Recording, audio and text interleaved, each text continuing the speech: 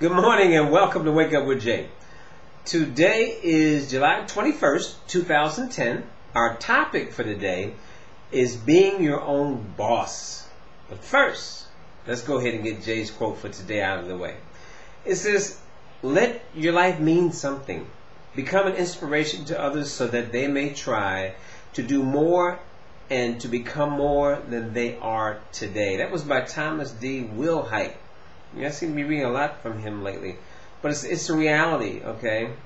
Um, life can be so wonderful when you're trying to be a living example for someone else in hopes that you're going to inspire that person to do what you've done or even greater things.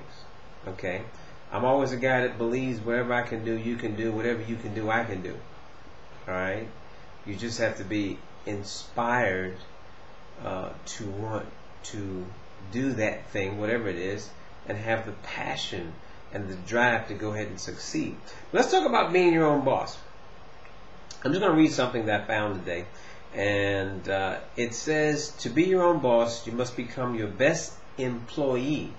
Being your own employee is difficult because you're not scared of yourself and find it very easy to make excuses to yourself and you have no fear of being sacked. Bosses often hire mentors or coaches in order to gain some kind of accountability. You know, let's let's let's take this apart, okay? This because this is good.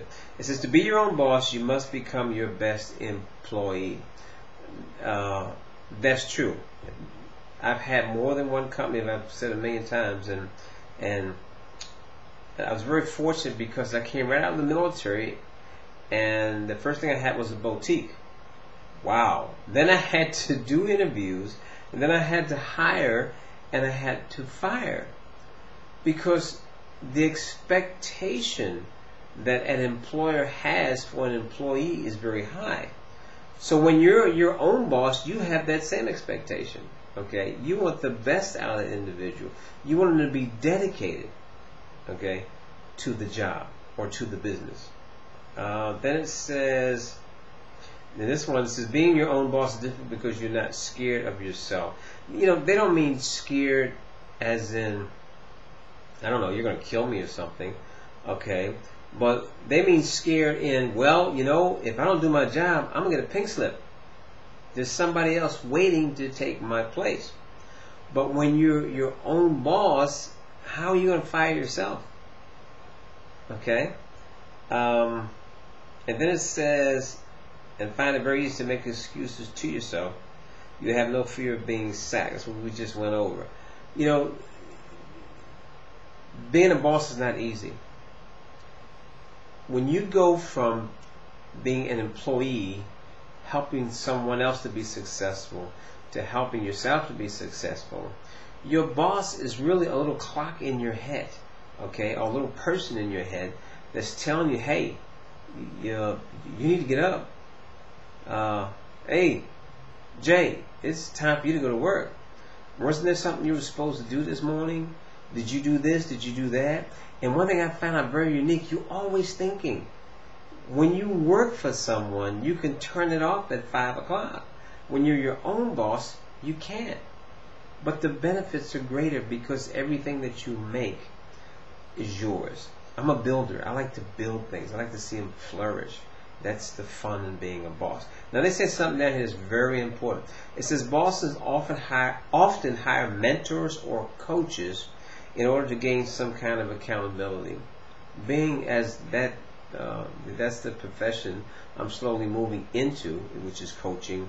Uh, I know for sure that uh, it's something that's really required in this day and age. My job, whoever I'm coaching, is to get the best out of them. Okay, but with their permission. Okay, it's not my job to force anything on someone, but to to to help them go inside and bring out the best. Okay, you've heard the stories about Michael Jordan, uh, about Tiger Woods, uh, Larry Bird, uh, Magic Johnson, and so many others. Okay, put them on the street with a basketball, and the ones that play basketball, they're just a normal person.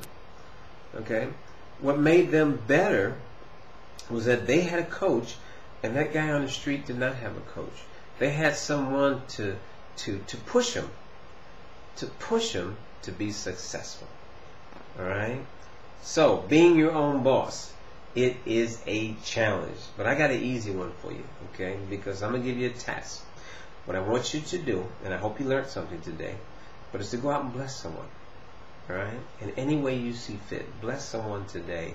And I'm telling you, when you lay your head down tonight, you're really going to feel good. Look forward to seeing you tomorrow. Y'all have a great day. Jay out. Peace.